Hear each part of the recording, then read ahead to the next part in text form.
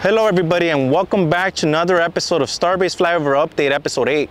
My name is Mauricio and today I'll be taking you on a tour of Starbase, starting off at Massey's test site, Sanchez, build site, and the launch site. I can't really see much from down here, so let me take you up to 10,500 feet and let's take a better look. Consider supporting us on Patreon to gain early access to all the flyover images the same day they are taken and the support helps out tremendously with paying for the expenses associated with the flyover for the 172 that we use. Thank you so much and enjoy the video. First and foremost, we'll start this week's episode at the Massey's test site, previously known as the Massey's Gun Shop and Range before SpaceX bought it in 2021.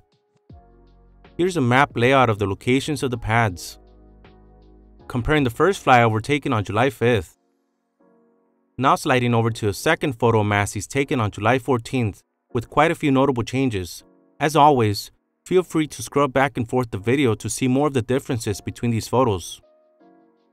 Firstly, we take a look at the Booster Cryogenic Testing Station, which has finally been completed and prepared for booster testing. Indeed, we saw Booster 10 rolled out from the Rocket Garden at Sanchez bound for Massey's test site on the evening of July 7th and into the early morning of July 8th. This is the first time we've ever seen a booster travel south along Highway 4 bound for the Massey's test site. Thanks to our friends at Lab Padre for providing this footage. As to what we expect this booster to do at Massey's, we see that it has already been connected to the GSE coming from the tank farm via the booster quick disconnect seen here.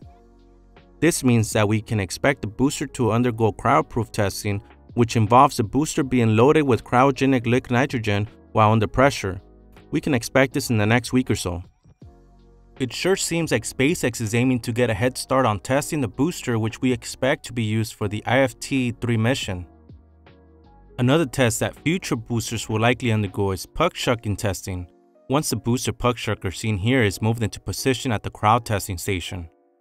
It's worth mentioning that since this puck shucker has not yet had its thrust rams installed and moved into place, it may be a while before we see Booster 10's puck being shucked if at all, seeing as Booster 10's thrust puck design has already been structurally verified.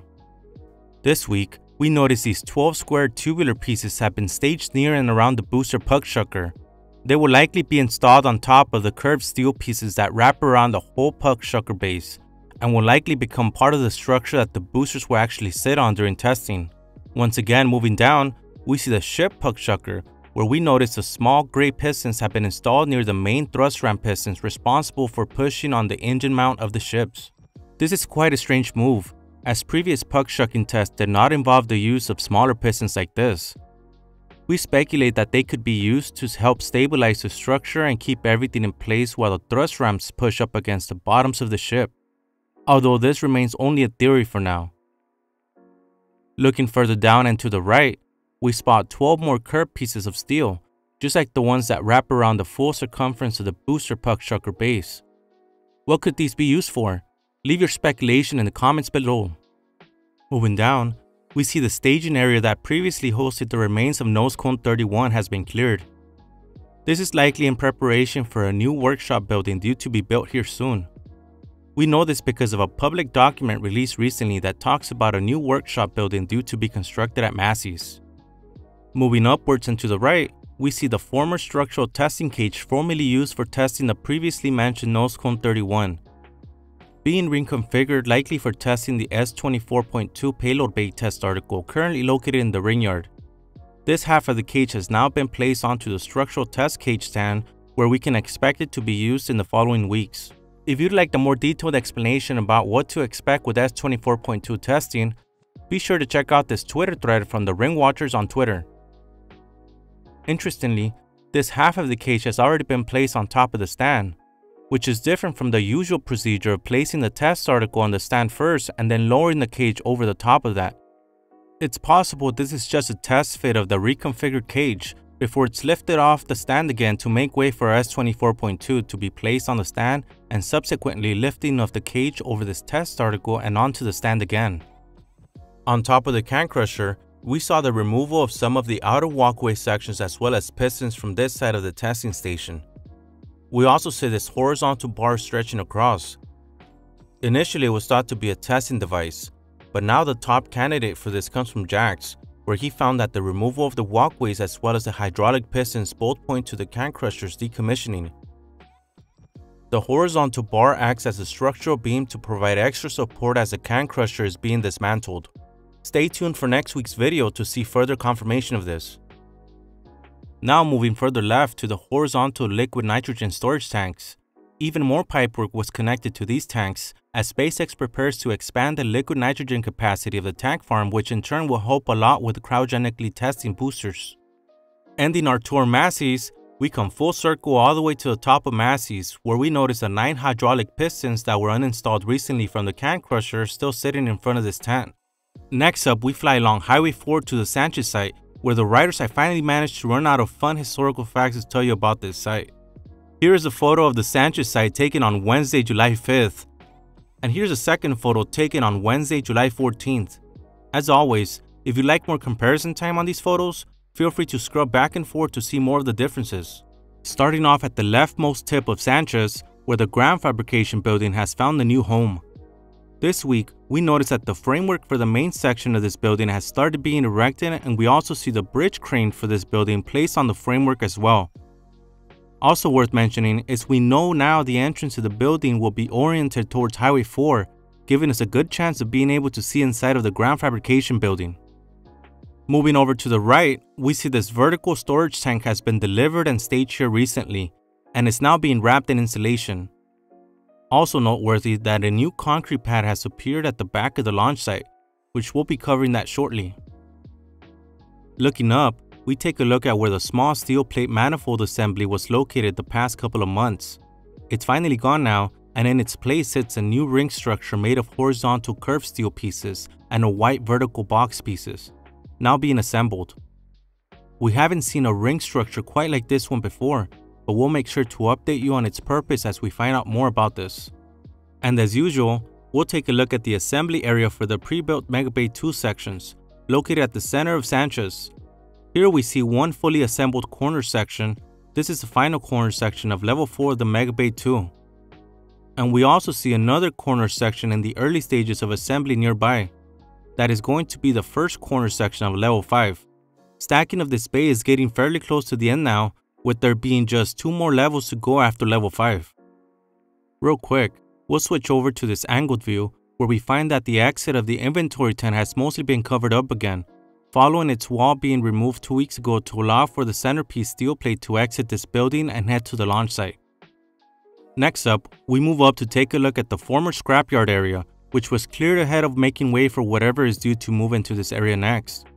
This week, we saw a concrete pile cap poured over the square pilings located in this area, laying the base for whichever building will be constructed here, though we're not certain what that will be. What we do know is that the concrete pad won't be used as a booster or ship holding pad, indicated by the lack of embeds. In our last stop at Sanchez, we'll take a look at the Rocket Garden. Here's a labeled image of the Rocket Garden. Notice this gap between booster 11 and 4?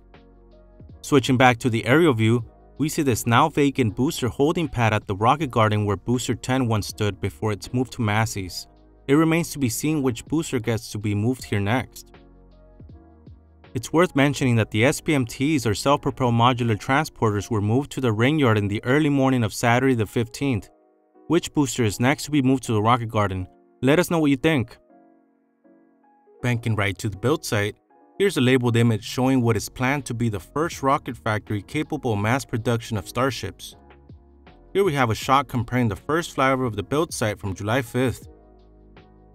Now sliding over to show another few seconds of the photo from July 14th to compare the changes. Firstly, let's take a look at the area to the left of Megabay 2, where we see the new location of the scrapyard after it was displaced by a new project starting in that area it used to be in, at Sanchez. Moving on to the actual Megabay itself, which has seen an extremely rapid pace of construction this past month. This week, the second and third sections of Level 4 were transported from Sanchez to Megabay 2 and subsequently lifted into position. The jigs used to transport these two sections can be seen here and here. This recent progress leaves Megabay 2 just one section away from having its fourth level completed, with the only remaining corner section for this level almost complete at Sanchez as mentioned earlier. Thanks to Lolomatico3D from Twitter for allowing us to use this render showing the extent of Megabay 2 construction as of the writing of this video. Over here, we see a newly delivered shipped aft flap, one of the first to be delivered in quite a while. This will be used on ship 29, along with another aft flap still due to be delivered. Now moving to this older sibling, Megabay 1. But before we take a look inside, we notice that the area behind the bay has now been turned into a parking lot, as predicted by us in the previous episode. Weirdly, it seems like the rest of that bit of land behind Mega Bay 1 is being kept as an area covered in fake grass. You'd think all that area would be turned into a parking lot, but that doesn't seem to be the case right now. Now taking a peek inside Mega Bay 1 itself, where we see Booster 12 still sitting in two halves on the left hand side of the bay. This week, we also saw grid fins starting to be installed on the methane tank of the Booster 12, which we can expect to be stacked atop the LOX tank shortly, finally completing stacking of this booster. Moving to the right hand side of Mega Bay 1, we see Booster 9 still being worked on, as seen in this ground photo I took on Wednesday, we've also seen two new long steel tanks installed on the outside of the booster where the small chines used to be installed. Chines are now the same size as the other two chines that house the COPVs, are being installed over these new steel tanks. Now switching to the aerial view, we see these two remaining grid fins still waiting to be installed on booster 12 sitting outside this bay. Sliding over to the left, let's take a look at the high bay used by SpaceX to construct ships. Now switching to the ground angle, ship 28 and 29 are still sitting on the right side of the bay. We can also see the recently reinstalled payload bay door sealing the opening of ship 28's payload bay again. Here in this aerial view, we can see this undeveloped ship thrust sleeve with the stringered single ring placed on top of it sitting closer to the left side of the high bay. This is a setup that was being used to raise the single ring high above the ground to be able to weld it to the underside of S-24.2 due to there being no robotic welding machine located at the ground level. This essentially means that the four-ring undeveloped ship thrust sleeve isn't going to be part of S24.2 and was only acting essentially as a stilt for the single ring, which is due to be part of the payload bay test article.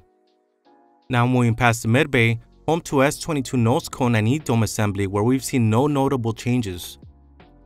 Now moving to the ring yard, located in front of the mid bay, First, we see S24.2 sitting out in the ring yard after an aborted stacking attempt of this article onto the single ring stack welded on top of an undeveloped ship thrust sleeve inside the high bay. We hope to see another attempt at this stacking soon, which will hopefully end with a success this time as S24.2 is something that needs to be fully tested sooner rather than later. To the right of that, we also see Ship 30's mid-lock section sitting out in the ring yard, still waiting on Ship 30 stacking to commence in the high bay. This likely won't start until construction of the payload bay test article has been completed. We now slide over to the right and take a look at Phase 2 expansion of the Star Factory. Starting at the right of the image, we see that roof paneling is now starting to be installed over the framework we saw erected over the past couple of months or so. On the right, we see the press pit, intended to be used for an industrial press machine which is still due to be delivered to Starbase. As indicated by the roofing framework now installed directly above it, we now know that the press machine will be rolled into place over the pit under the fully assembled factory roof, rather than being lifted into place above the press pit by a crane before the roof has been completed. Moving down, we see that the another section of the concrete flooring has been poured for this phase of the Star Factory expansion. Looking further down and to the right, we notice that more footings have been poured in the line just above the plot of land that SpaceX currently does not own this is a solid indication that the firebreak wall seen here will not be extending all the way to the edge of the future Star Factory. Sliding down once more, we notice that even more footings for the factory foundation have been poured near the Highway 4 end of the factory. Interestingly, we see groups of three footings situated down this end which would point towards more reinforcement being needed for this end of the factory due to it likely being a lot taller. And finishing up our tour of the build site, we look to the right at the former location of the ground fabrication building, which has mostly been emptied of hardware. The majority of steel and other materials have now moved to Sanchez. Next up is the launch site, where we've seen a torrent of changes this past week as the steel plate installation progresses. Here's a few seconds of the shot comparing the first flyover the launch site from July 5th. Here are another few seconds of the photo from July 14th to compare the changes. We'll start off our tour of the launch site by looking to the suborbital launch site, looking past suborbital pad A, where nothing noticeable has occurred this past week. we see the LR 11000 crane connected to Ship 25 still sitting atop Pad B.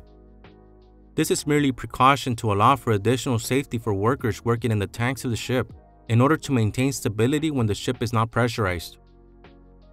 Now looking under the actual ship itself as seen in this tweet unexpectedly shared by Elon Musk, showing the inside of the engine bay of Ship 25. This picture shows that the engine shielding for all three sea level and three vacuum Raptors have been entirely removed, and Elon also hinted that the plan to increase the total number of Raptor vacuum engines on future ships to six was still on the table. Moving to the right, we see the middle of the launch site, at the area where future horizontal cryogenic storage tanks are due to be installed. We see the pedestal starting to be formed on the foundation closest to Highway 4 for the future storage tanks to sit on. Jake from the production team has come to a conclusion that it looks like a total of 10 pedestals will be formed in each of these two trenches. This means we can expect at least 10 horizontal storage tanks to eventually be installed here. Looking slightly downwards to the trench, the pilings here are also being exposed again, ahead of the second piling cap and pedestals being formed. Now moving to the back of the launch site, close to the water supply tanks which are responsible for supplying water to the water-cooled steel plates. Over here, we see that a small vertical tank was installed behind the two large water supply tanks this past week, although it's unclear what this will actually be used for until they've fully plumbed it in. Switching over to another angle of the water supply tanks, we see that the new concrete pedestals are being formed behind the two high-pressure gas cylinder stacks. It's likely that these gas cylinders staged nearby are to be stacked on these new pedestals and be connected with pipework connecting it into the water-cooled steel plate system. Slightly to the left of the concrete pedestal sits this newly poured triangular shaped concrete pad mentioned earlier in the Sanchez section of the video. This very well may be the pad that the newly delivered vertical storage tank currently at Sanchez might eventually sit on. Moving further up the image now, we see that the cradles for a third large water supply tank has been installed on tops of the concrete pedestals. These cradles will be responsible for holding the cylindrical water supply tanks in place, and their arrival could be a promising sign that a third tank might be arriving shortly, expanding the water holding capacity. The cradles can be seen here in this render courtesy of Chrome Kiwi. Also visible here is the newly installed vertical tank sitting behind the two large water supply tanks, as well as the pipework running from the water-cooled steel plate assembly, which we will now talk about. Rotating around the launch tower, we now see the orbital launch mount and stage 0 in all its glory. Following steel plate installation, water manifold and pipework installation, as well as concrete pouring that occurred since the last flyover. We'll start off by looking at the newly poured concrete on the side of the OLM, where we're able to see rebar jutting out of the base layer in the preparation for pouring a ring of fondag on top of it. Concrete pouring has occurred throughout this past week, and this layer of concrete will eventually stretch all the way around the OLM including this area where we see partially exposed pipework. This concrete layer being poured around the OLM is likely to be the last layer. All the pipework to feed water to the three steel plate manifolds have been installed. Fully welded and the pipework for the small and the large steel plate manifolds have mostly been covered in dirt. The pipework for the medium steel plate manifold has been completely covered in dirt. Once again, here's a render from Chrome Kiwi showing the medium manifold pipework that's now been covered, circled here.